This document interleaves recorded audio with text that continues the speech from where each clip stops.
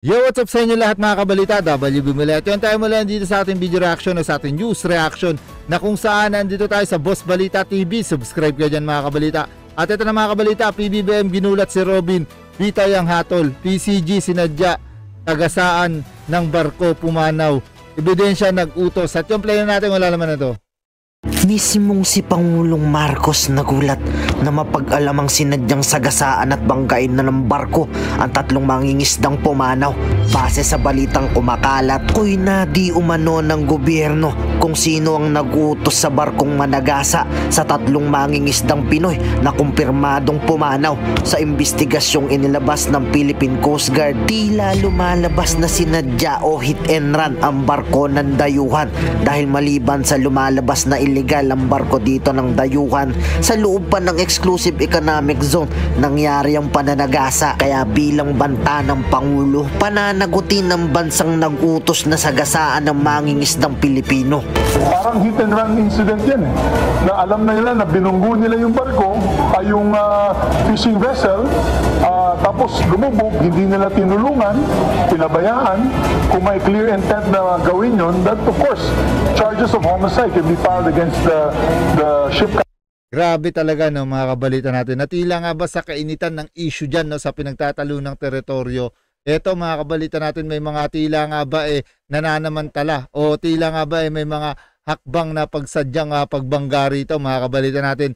Na ito nga ang dapat matukoy o malaman kung inutusan ba ito o talagang eh tila nga ba yung uh, pananadya eh may kalakip nga na talagang eh pagnanais o talagang uh, may team na balak no dito sa ating uh, bansa. O dito nga sa ating uh, teritoryo na upang uh, takutin no yung ating uh, mga manlalayag diyan dahil nga sa ginawa rito na pagbangga nga at pagpapabaya no sa mga fishing vessel na tila nga ba na mga kababayan nating uh, nasawi nga rito dahil nga sa uh, sa tinatawag nga na hit and run nga diyan no sa karagatan diyan sa ating uh, nasasakupan nga mga kabalita natin at dapat talagang matukoy ito kung uh, talagang sinong kaugnayan o kung bakit ginawa ito mga kabalita natin. Sapagkat nga eh tila nga ba pag pinabayaan to eh baka mas lumala pa nga ito. At yun tuloy pa natin. Captain and the uh, uh, ship mates involved. Kailangan habulin itong uh, tanker na ito at yung uh, may-ari ng tanker na ito para sa uh, para sa hustisya no na hinahanap ng uh, tatlong pamilya na nawalan po ng uh, kanilang uh, mahal sa buhay. Tuloy ang investigasyon ng Philippine Coast Guard kung sadya bang binangga o aksidente ang pagkakabangga ng oil tanker sa bangkang pangisdaan ng mga Pilipino. Batay sa monitoring uh, system ng PCG, napagalaman na ang barkong MV Pacific Ana na rehistrado sa Marshall Islands ang malamang nasangkot sa banggaan. Ito lamang umano kasi ang dumaan sa lugar na pinangisdaan ng tumaob na fishing boat o FB Dirin. Sa ngayon, inaalam na ng PCG kung sinadya ang pagbangga ng oil tanker sa bangka na nasa loob ng exclusive economic zone ng Pilipinas. Mahirap magturo sa kasalukuyan. Uh, hindi po dapat tayo magturo muna. Kailangan mag matapos ng mabilis at uh, extensive yung ating investigation. At yan naman po ang ginagawa natin. Collision kasi to, uh, we need to uh, get both sides para malaman natin. Ang tinig ni Rear Admiral Armand Balilo, tagapagsalita ng Philippine Coast Guard, sinisikap ng GMA Integrated News na makausap ang mga may-ari ng oil tanker na bumiyahe mula sa South Korea at patungo ng Singapore. Balak ding ipagbigay alam ng Coast Guard sa susunod na dadaungan ng MV Pacific Ana ang insidente. Ito'y para mga otoridad na doon ang umakyat ng barko at kausapin ng crew kung mala malaman o para malaman kung ano ang tunay na nangyari. Iniyak ni Pangulong Bongbong Marcos na pananagutin ang nasa likod ng pagbangga sa bangkang pangisda na ikinasawi ng tatlong mangisdang Pilipino. Ayon po sa Pangulo, labis siyang nalulungkot sa insidente. Iniimbestigahan na umano ng Philippine Coast Guard at ipapangahensya ng gobyerno ang insidente para malaman ang kabuang detalye at kung ano ang totoong nangyari. Anya nagsasagawa ngayon ng Philippine Coast Guard ng backtracking at tinitignan ang lahat ng barko sa lugar bilang bahagi ng investigasyon. Pumapila naman ng Pangulo sa publiko, iwasan muna ang mga spekulasyon uh, o kaya yung mga haka-haka sa insidenteng yan. Tiniyak din ng Pangulo na bibigyan ng tulong ang mga biktima at kani-kanilang mga pamilya. Kasabay nito, nagpaabot ng pakikiramay ang Department of Foreign Affairs at ilang senador sa pamilya ng mga nasawing mangingista. Ayon kay Senate President Juan Miguel Subiri, kung mapapatunayang hindi talaga talaga tumigil ang barkong yan at hindi tinulungan yung mga Pilipino mangingisda, eh malinaw na paglabag po ito sa United Nations Convention on the Law of the Sea. Parang hit and run incident yan eh. Kung hindi pumigil itong barko na to, ah, halatang halata na talaga there was, a disregard for human life and disregard for the rule of law, particularly on the UNCLOS. Tinigboyan ni Senate President Juan Miguel Subiri. Samantala, muli na namang tinangkang harangin ng China Coast Guard ang resupply mission sa BRP Sierra Madre sa Ayungin Shoal kahapon. Sa inilabas na video ni Senate President Juan Miguel Zubiri na mula sa Philippine Coast Guard, makikita ang barko ng China Coast Guard sa kanan na tila biglang nagminor at huminto. Halos magkabanggaan ang mga resupply ang resupply boat ng Pilipinas sa China Coast Guard vessel habang napapaligiran ng Chinese militia vessels. May tuturing umano itong dangerous maneuver o mapanganib na pagmamaniobra. Pasado alauna ng hapon o kahapon ay nakapasok naman sa loob ng Ayungin Shoal ang dalawang resupply vessel. Bago mag alas 6 ng gabi, natapos na ang resupply mission. Sa ngayon, pabalik na ng Palawan ang dalawang resupply boat at dalawang barko ng Philippine Coast Guard. Dito nga mga kabalita natin, no, grabe talaga yung diskarte ng gustong gawin ng mga checkwang to. Na kung saan yung mga ginagawang uh, pag-maneuver nga nito nga mga barko nila, eh tila nga ba eh ang nais nilang palabasin eh sila yung binangga kung sakaling eh mabangga. Ng ating uh, Philippine vessel nga mga kabalita natin na kung saan yung uh, eto nga, nga mga barko na tila nga ba hinaharang ng Chekwa o itong mga China nga eh uh, itong mga taga China nga na kanilang mga barko eh gusto nga palabasin o talagang eh, nais nila nga maging biktima rito kung sakasakaling mabangga nga ng ating mga sasakyang pandagat ito mga kabalita natin. Yan ang gusto nilang ipamuka no na talagang papalabasin nila yung Pilipinas ang may kasalanan o yung Pilipinas ang uh, talagang gumagawa ng gulo rito na kung saan yung ganyang hakbang o yung galawan nila eh tila nga ba eh, basang-basa na lalong lalo na syempre ng ating mga uh, manlalayag dyan. O. Yung ating mga manlalayag at mga bantay dagat natin dyan mga kabalita natin. Yung mga hakbang na ganyan ng mga chekwang to tuso at talagang eh mautak at talagang uh, ginagamitan nila ng panglalamang no na kung sakaling matamaan yung kanilang barko eh Pilipinas ang masisisi. Na ito nga ang nais gawing hakbang ng mga chekwang to upang yung Pilipinas ang maging mali sa mata ng maraming bansa. Na alam naman natin na itong mga chekwang to eh may ugali talaga na tila nga ba eh traidor at mapanglinlang nga mga kabalita natin na dapat lamang talagang kundinahin. Kung po pwede nga lang itong patikimin no, ng isa eh dapat lamang eh talagang makatikim to upang nga madala itong mga checkwang to. Subalit nga eh talagang nag-iingat syempre yung ating mga sasakyang pandagat dito sa mga hakbang nila sapagkat nga eh itong China eh napakautak gumalaw rito sa West Philippine Sea. Subalit nga eh syempre patuloy din naman natin igigiit at patuloy din naman yung diskarte ng ating mga manlalayag dyan. At, at talagang ito eh sinuong pa rin nila at talagang uh, narating nila yung kanilang uh, nais na marating dyan at talagang mahatiran ng uh, mga supply no na talagang eh, kailangan ng ating mga kasundaluhan dyan sa Ayungin Sol. At yun, tuloy pa natin. Samantala, DNR pabibigyan ng pondo ng Senado para pampatayo ng Marine Research Station sa West Philippine Sea at Benham Rise. Pabibigyan ng Senado ng 600 million pesos ang Department of Environment and Natural Resources o DNR para makapagpatayo ng Marine Research Stations. Ayon kay Senate President Juan Miguel Zubiri, nais nilang mga senador na makapagpatayo ang DNR ng research station sa coastal areas, particular sa malapit sa West Philippine Sea at sa Benham Rise o Philippine Rise para ito sa pagsasaliksik ukol sa marine environment ng bansa at upang matulungan ang mga scientist at mga mangingisda na protektahan ang mga yamang dagat. Sinabi ni Zubiri sa gitna ng pagtalakay sa panukalang budget ng DNR para sa susunod na taon na 24.5 billion pesos. Anya isa ito sa pagbibigyan ng Senado ng dagdag na pondo na may kaugnayan sa pagprotekta sa karagatan at sa mga nasasakupan ng bansa.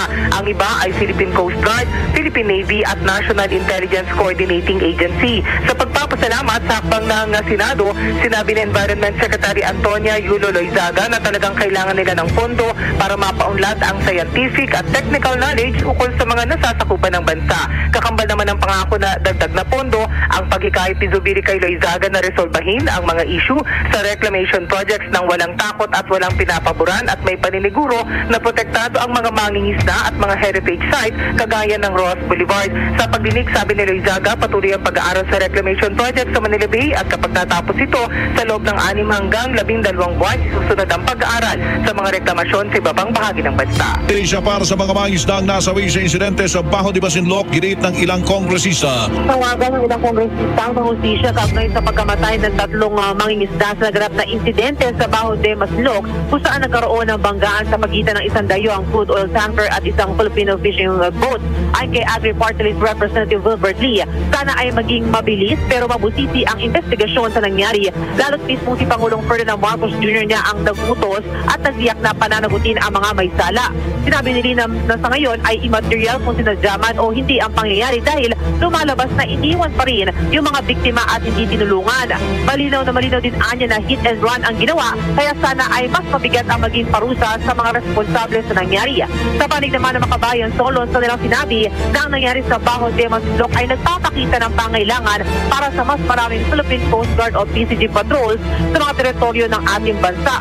Umabila ang makabayan Solon sa Kamara na investigahan ang nangyari at sana ay maitaas pa ang budget ng PCG sa ilalim ng panukalang 2024 national budget. Tuloy tayo sa ating mga balita. Humingi ng tulong o humingi ng tulong sa gobyerno ang pamilya po ng mga nasawi at nasugatang mangingisda sa banggaan ng isang commercial vessel at bangkang pangisda malapit po sa Baho de Masinloc.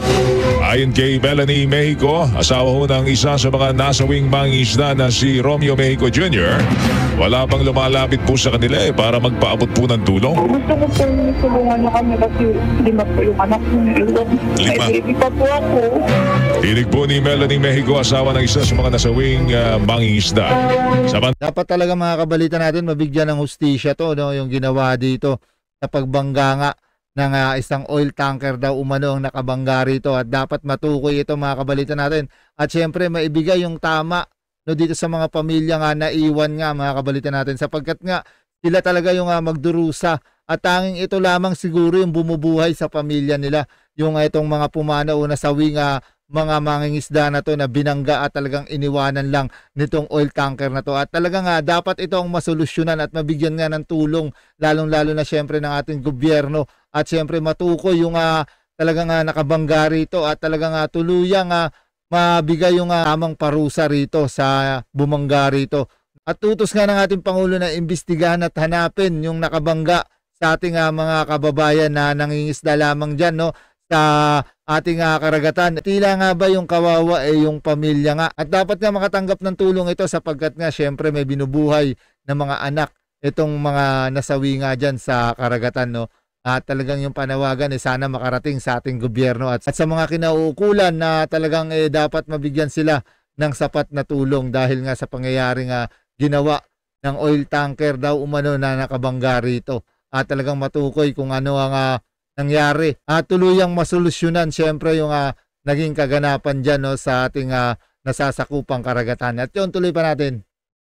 Antala nanawagan naman sa Philippine Coast Guard ang isang nakaligtas na mga isda na tulungan silang maisalba ang tumaupo nilang bangka. sabi ko sa Coast Guard na Mm. nag-interview sa akin, sana po, kung may may tulong naman po sana kayo, gawin nyo agad yung paraan, yung bangka namin na makuha doon sa laot. Sabi nila po, eh, wala naman daw po silang mga gamit na baro po pang rescue. Ang gagawin naman daw po nila, parang tatawag-tawag sila sa mga bangkang malalaki din po. Kunti lang po yung damage niya.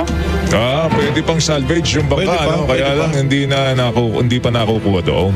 Inig po ni Johnny Manlolo, isa sa mga nakaligtas na mangingisda. Ngayon, ikaw, bilang Pilipino, ano ang masasabi mo at reaksyon sa balitang ito? Mag-iwang ka ng komento sa ibaba at atin pong babasahin isa-isa.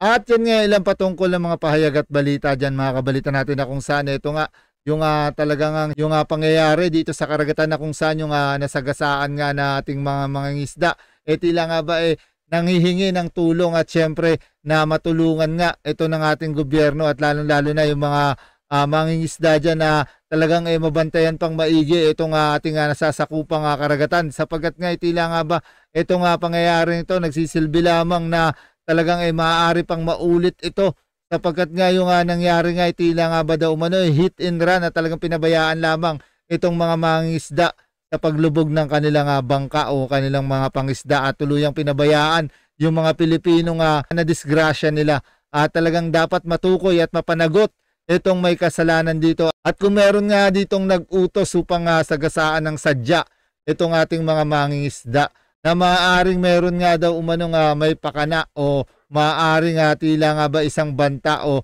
hakbang ito upang nga talagang uh, hindi na pangisdaan pa ng ating mga mangingisda ito. Sapagkat kung makikita nyo lamang no, yung uh, pagsadyang pagbangga dyan, eh, tila nga ba eh, may nag-uutos daw umano sa mga to upang uh, sagasaan ay yung ating mangingisda dyan at sana matukoy ito at hindi na muli pang maulit no sapagkat nga ang kawawa yung mga naiiwang pamilya mga kabalita natin at kung mahuli man to eh parusahan ng todo mga kabalita natin nung uh, matinding parusa rin. Sapagkat yung uh, kawawa nga yung mga iniwan nitong mga namayapa o namatay nga dyan sa pagsagasa nila sa ating mga mangingisda. At kayo kayo na lang bahalang magkomento sa ibaba ng nais nyong ikomento patungkol dyan. At yun muli syempre nagpapasalamat tayo sa patuloy nyo pagsubaybay at patuloy nyo pagsuporta at pagsusubscribe sa ating channel. At syempre nagpapasalamat tayo sa Boss Balita TV. Subscribe kayo dyan mga kabalita. At yun mga kabalita, ito muli ang yung WB.